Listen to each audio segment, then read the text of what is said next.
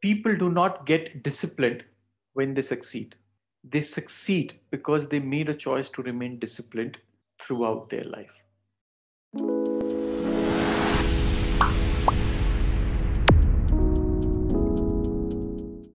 When I was growing up, the education system had something very unique and interesting. I don't know if you guys remember or if that still happens today, but around the time of the exams, it could have been half yearly or it could have been annual exam. Suddenly, everybody changed. Every behavior changed. It was beyond what was expected out of people.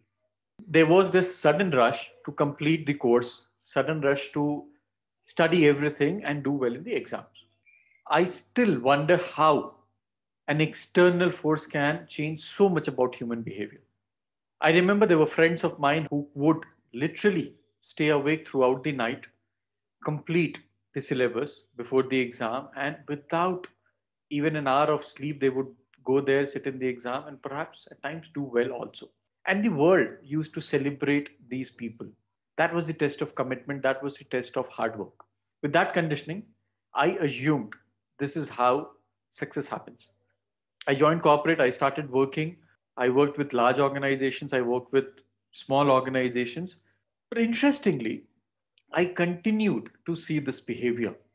Most of the projects, most of the assignments, most of the work used to get done by burning the midnight, midnight oil closer to the deadline. So, what I saw in my education system manifested in my organizations.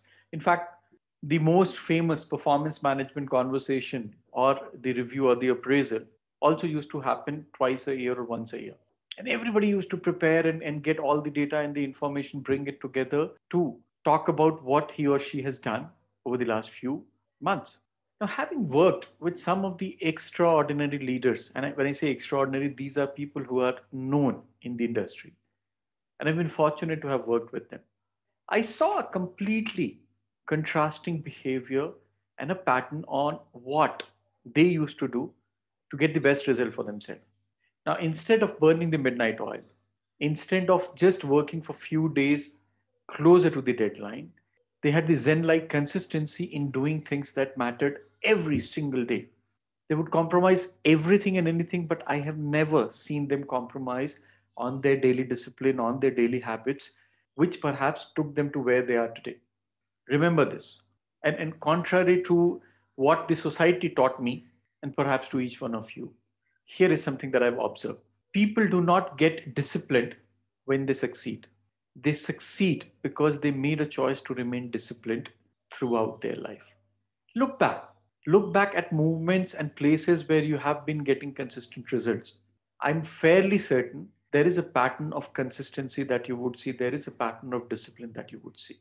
The challenge is to bring that back into our daily lives on things that matter and get extraordinary results for ourselves.